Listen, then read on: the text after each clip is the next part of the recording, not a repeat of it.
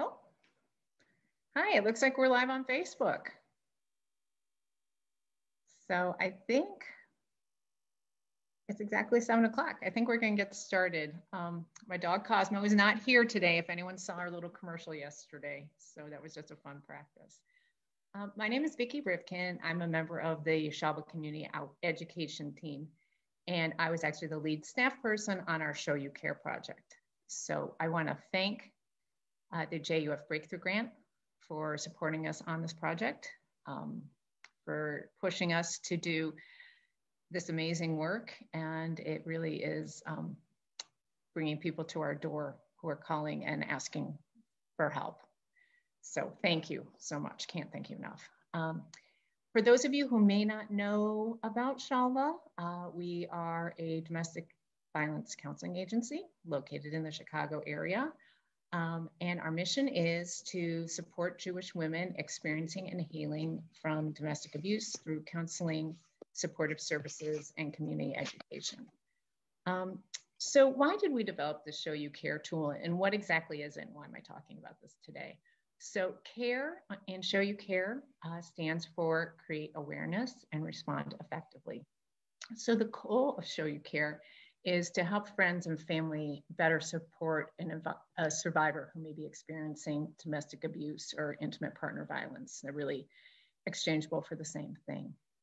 Um, what we found was that during our live presentations back in the day, when we used to be able to go in front of a group of people and talk, and people could come up to us afterwards and ask questions, we really miss it, but this is a good substitute. Um, we would often get this question uh, I'm worried about my friend. She started dating this guy, and I haven't seen her seen her for a long time. Or um, my daughter's. Um, I, I, get a bad feeling about my my um, son-in-law or my daughter-in-law, um, and they want to know how they can help. So the thing that we know is that one in four women and one in seven men will experience um, intimate partner violence in their lifetime. And those are only reported cases. So uh, many people never choose to disclose the fact that they've been in an abusive relationship, but maybe one of their friends or family members suspect and they see a warning sign. So what we do know is that the number one reason a survivor finally gets the courage to make the call is usually because somebody else encouraged them to do so. So those people that came up to us in conversations at the end of a program were the ones that then went back and really encouraged their friend or family member in a caring way to make the call and get help and support to figure out how to um, move on from an abusive relationship. So uh, we reviewed our data uh, before we started this program and found that we consistently received calls from third parties and what we call third parties, and that it actually accounted for about 25% of our total logged calls. So even if you know, you know, you've gone up, you've asked, you know what to say, um, it's still a hard conversation to have with someone. And it really takes practice. And that's why we developed an interactive tool on our website so that you would be able to um, practice and go through and think about different scenarios and learn different things to say. And we're going to show you some of that in a little bit. Uh, we know that, and we want to encourage you, you can always, always call our phone number. I'm going to give it to you now. I'm going to give it to you again. Uh, it should be in our um, comment section too. Uh, it is 773 583 4673. And that's where you can call to get help, where your friend can call and get help who's experiencing abuse. Uh, we're here for both of you. Uh, but calling a hotline might feel a little extreme. You may not be sure. You know, I don't want to get someone in trouble. Um, but having this internet, um, this tool on our website will is, is a way to kind of get you ready. If you're not sure you want to make the call, you can go through this. And then if you still have questions, hopefully you'll feel more comfortable with Shalva and listening to me today, and you'll be able to actually make the call. So um, what is domestic abuse? What are we talking about today? What does it really mean? you know, most people think only about physical abuse, about bruises or broken bones or pushing or shoving, but abuse isn't as obvious as you might think. Um, that's because domestic abuse is really about controlling someone's mind and emotions as much as it is about hurting their body. Being abused can leave a person scared and confused, and it can be hard for them to see their own partner's actions for what they really are. Remember, they're in love with this person. So, what you may see as abuse, they may think of as normal. So, um, you probably already understand what physical abuse is. Um, in the news and movies and you know, whatever. Um, but emotional abuse or psychological abuse is not so obvious, and that is in most of the cases that we see. And actually, the most common abuse that we hear about at our office is what we refer to as financial abuse. Uh, it is reported in over 90% of abuse cases. And this is what happens when money and resources are being controlled by an abusive partner. So uh, someone is put on a extreme allowance. They're not allowed to have money. They're not allowed to go to work. Um, you know, any way that someone can be controlled, or they're just not told how much money the family has. Uh, those are all ways of financial abuse. And if you think about it, if you don't have access to money, um, you don't have the ability to control your life, and you certainly don't have your an ability to easily leave a relationship. So our education video on our Show You Care tool really discusses the different types of abuse and explains some of the warning signs that you can look for. So what I'd like to do next is show you one of our videos. Um, and it really tells you about the different steps that, uh, that this person in the video goes through to help their friend.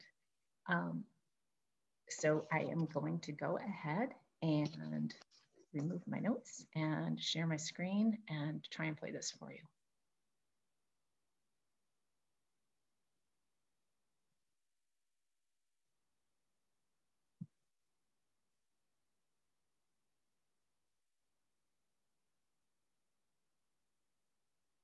Here we go.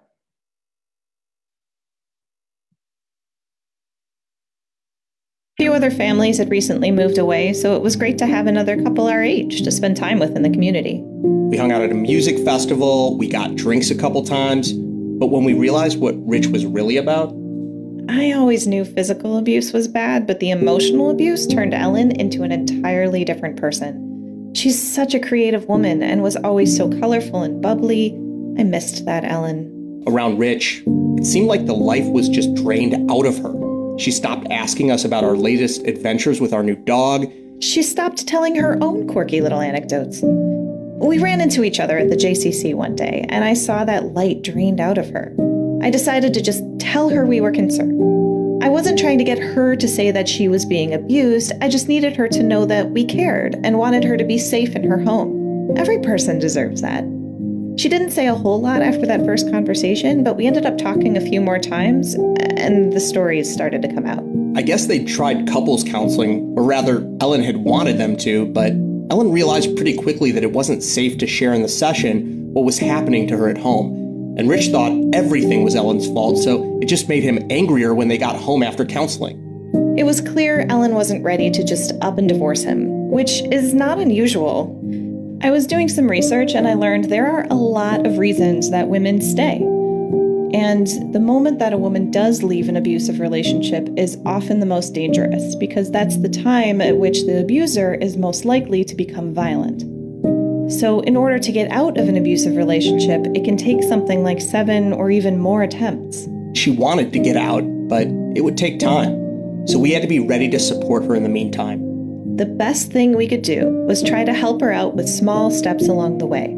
I did my best to make it clear that I was around to listen if she needed to talk, that we'd be there for her, whatever she decided to do. We eventually helped her put together a safety plan. Rich had never been to our place, so we offered our home as a safe place for her to go if she ever needed it. She has a duffel bag with important papers, an extra set of keys, changes of clothes, that kind of thing here at our house. We have a coded phrase she can use to let us know she needs to come over without Rich knowing. We made sure she has the info for Shalva and all the support and resources around domestic violence that may be available to her.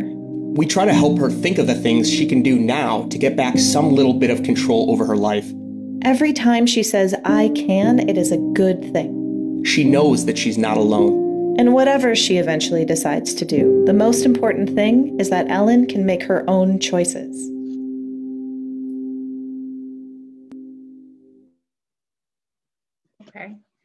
So that gives you a little taste of what um, Show You Care is. And um, just to be clear, it is on our Shalva website, which is shalvacares.org, and you can click through and take this. And like I said, you can use this tool as many times as you want. Uh, it's kind of a choose your own journey. That's how we started uh, the project way back a year and a half ago when we first started thinking about what it was that we were going to be doing.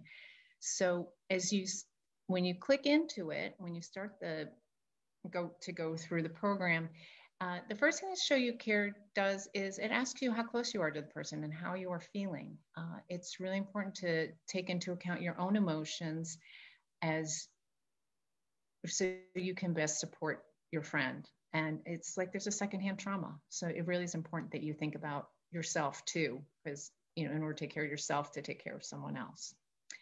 Uh, we talk about the different kinds of abuse. Um, like I mentioned, we acknowledge the, your own emotions and concerns. And Show You Care is really, it's designed to help friends and family who may be very worried and need some help themselves before they can help their friend, like I just said. Um, very often they want the woman to call or um, go to Shalva and that's that's not how it really works. Uh, she has to make the, she or he has to make the call themselves uh, in order to get help. So um, how do you start the conversation? What are things that you could say that may be helpful? Um, you can say that it's just, I'm so sorry this is happening to you, or that it must be hard for you. Uh, if someone brings it up themselves that, that they think they might be experiencing abuse, uh, thank them. Uh, they've entrusted you with something that they may not have ever told anyone else before. Uh, so something like, I'm so glad you told me. Um, I'd like to help in any way that I can. And whatever you say to me is confidential unless you tell me it's okay to talk to someone else about it. And when you say that, you have to really mean it. You have to keep this information confidential because if you breach the trust, it's just one more person who is disappointed, the, your friend or family member. So it's really important. Uh, you should also acknowledge that the abuse is not their fault. They did not cause this in any way. Uh, it's about the abuser, it's not about them. Uh, you can remind them that they deserve to be safe and also that they don't have to be alone. Uh, there are resources like Shalva available to help. Uh, so what are some things that you could say that maybe not, may not be as, as helpful? Uh, anything that kind of starts with why is probably uh, a tip off that it's not a great question to ask. So things like, why don't you just leave him? Why did you start a fight? Uh, why didn't you call the police? Uh, you're a smart person. Why do you stay?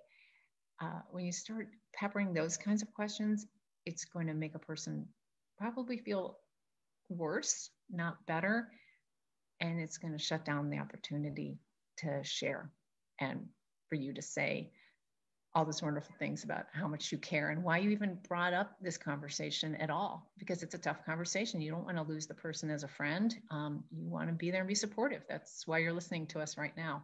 So acknowledge that you might make a mistake. You might say why are you still with her? or why are you still with him? Um, if you say something like that own up to it say and if you see them kind of back away or try to change the subject, say, okay, you know what? I am so sorry. That was such an insensitive thing to say. I'm, I'm really nervous. I'm, I just want to be here to help. And when you open yourself up in that way, maybe they open up in that way as well. And, and if they, you say all the right things, they may still say, I don't want to talk about this right now. There's nothing wrong. And like it showed in the video, it can take up to seven times for a person to think about leaving and then not leave. So you have to be okay with that. Um, our therapists always tell everyone else on the staff um, the client is the expert in their life and they've got to make their choices when it's right for them. not when you think it's right.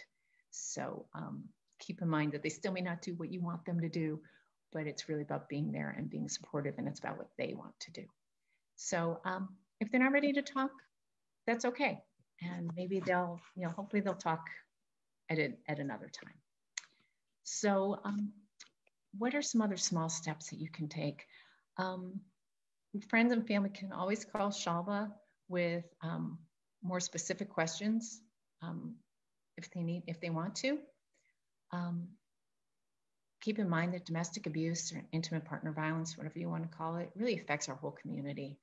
And we all want to be able to respond effectively. And that's, we're hoping that by having this out there on the internet, on our website, um, it will help more people respond effectively. Um, things you can really do are just spend more time listening. I hope I've um, really emphasized that during this short presentation, and less time giving advice. Uh, I once heard that you never you should never should someone, never tell them what they should do. So that, that, that's giving advice. So um, just spend more time listening. Um, reassure your friend or family member that uh, the conversation is confidential, like I said before, and help to create that safe space for them to talk. And most importantly, is to remind them that they are not alone, uh, that there are people around who care about them, and that they can always call Shalva. So with that short presentation, uh, I know that we have a few questions. I'm hoping we're getting a few more in. So I'm going to introduce Carol Ruderman, who may just be a voice on here today, but she's going to be helping me out. She is our executive director at Shalva, and she is going to be asking a few questions as they come in. Thank you, Vicki, and thank you everyone who's joining us um, today. So I think you may have said this um, in your remarks, but a question did come in. Um, how do I find the videos? That is a great question, and I can show you that. I'm going to go back to my handy dandy share screen, and I will show you exactly where to go. Uh, so we are going to go to, back here, we're going to go in a different tab. Um, mm -mm. Well, this isn't helpful. Hang on. I get out of here. Mm. Oh gosh. Oh, I know. Sorry about that, guys. Here we go. So it is shalvacares.org and you can see we got our phone number up here. Um, we've got a lot of different tabs across the top. Um, but right now, our very first thing on our website, you can see our pretty page here, is actually help a friend. So if you're worried about a friend or colleague or family member, you click in here and you go and get help. And then after you do that, you come up with the help a friend show you care screen. Uh, again, it says thank you to the breakthrough grant. And then we click into I'm ready to show I care.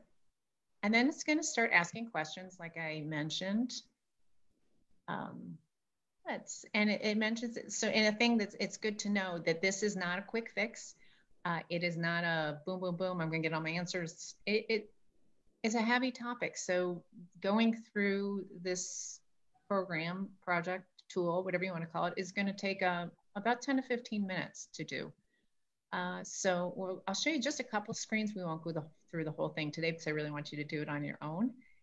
And it's like I, like I mentioned, one of the things that we check is whether or not this is someone you're concerned about. So um, we can say, we'll do medium. This is someone I care about, but we're not very close.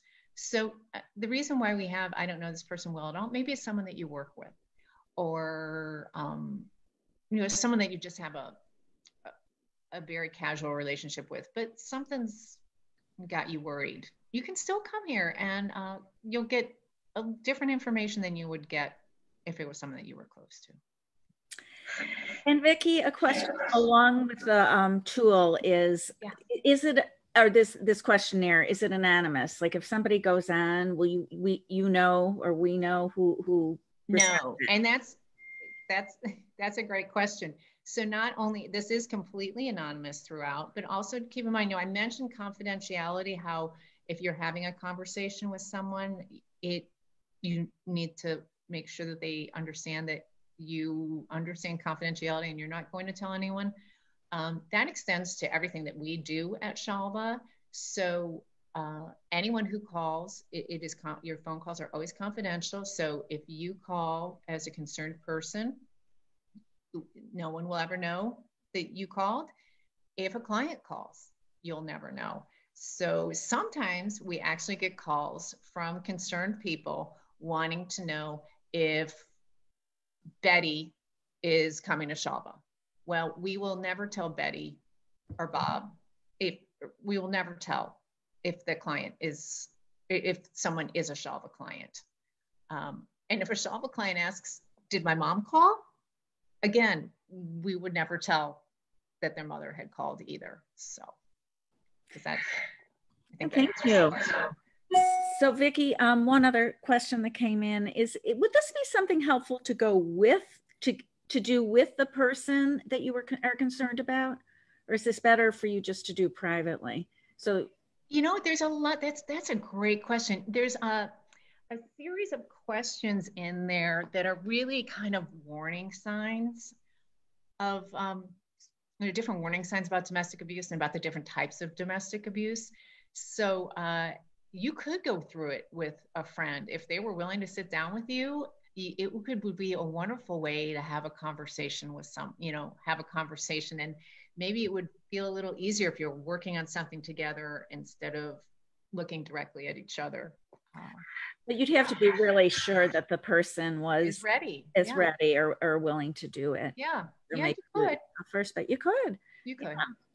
Um, never, never thought about it. it. wasn't really designed for that, but it it could work. It could work, sure. Um, another question that came in was, um, how do I make sure my conversation with my friend doesn't backfire on me? You know, they've done this tool. They're trying to use some of these um, comments and they're concerned it may backfire? Um, you know, all you can do is do the best you can. And like I said, you know, if maybe you maybe you say the wrong thing, or like I said, they shut down, you just have to let them know that you're there for them and you support them. And at the end of the day, it's if you're really concerned, then it's worth it to show your concern. And you can call Shalva and we can talk to you about it you know before you have the conversation as well as after the conversation. If you're if you've had the conversation and it didn't go well uh, and you need someone to talk to call please call and I think that's all the questions we have. If anybody has any last minute, if you're on the Zoom, you can either type in the chat or there's a Q&A, or if you're on Facebook, uh, you can put your questions up there. Uh, Vicki, have anything else to say? We'll just give it a minute. No, I can't. I think I, I think I went through everything. I hope that this was helpful. Uh, I hope you do try out the tool. Again, it's at shalvacares.org and you can click right into it. Uh, go to the end so that you can leave your comments about it. I hope that you have a great experience with it. And uh, we're, we're here for you and we're here for survivors. So please please give us a call or check out our website. Okay. Thank you, everybody. Thanks.